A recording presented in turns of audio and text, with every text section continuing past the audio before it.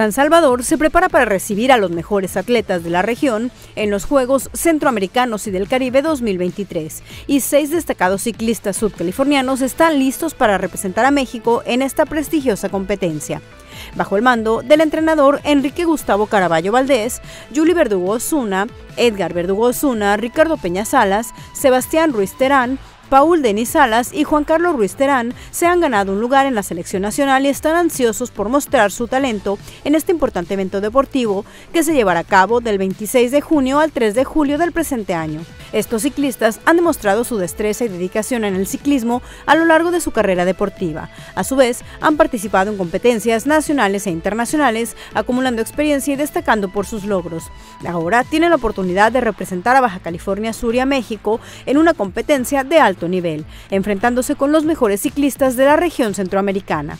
Además, cabe recordar que la sudcaliforniana Julie Verdugo Osuna ha sido una figura destacada en el ciclismo mexicano.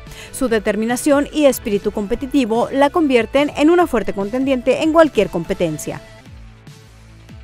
En la primera jornada de los nacionales con la de 2023 de voleibol de playa, los talentosos jugadores sudcalifornianos protagonizaron un partido lleno de intensidad y adrenalina ante los estados de Durango y Nayarit.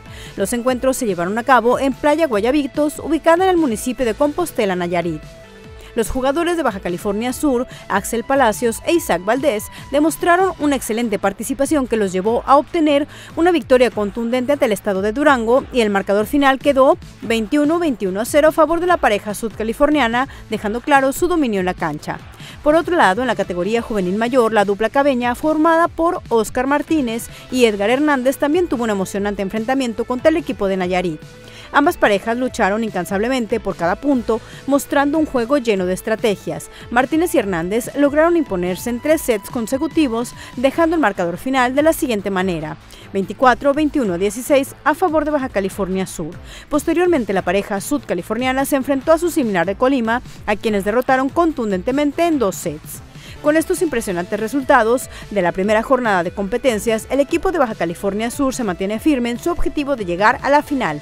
Y este jueves, el contingente sudcaliforniano de la categoría juvenil superior derrotó en dos sets a la selección de UNAM, mientras que la juvenil mayor hará lo propio ante Baja California, decididos a avanzar en las siguientes rondas y buscar una medalla para el contingente sudcaliforniano.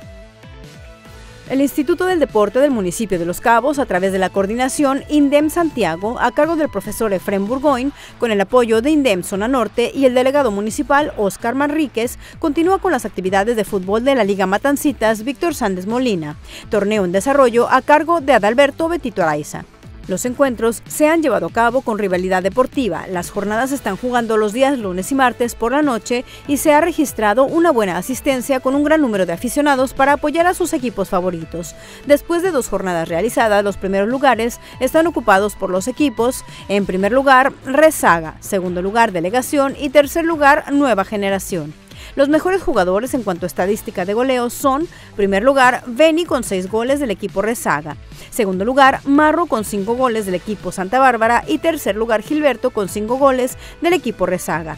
El Instituto del Deporte, a través de la coordinación INDEM Zona Norte y las tres coordinaciones delegacionales, siguen fomentando el deporte social a lo largo del municipio.